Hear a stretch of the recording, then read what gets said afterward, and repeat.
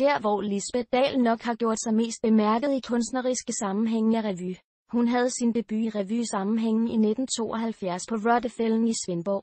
Fra 1974 har hun i flere perioder været skuespiller, kunstnerisk leder og instruktør for Cirkusrevyen på Dyrehavsbakken.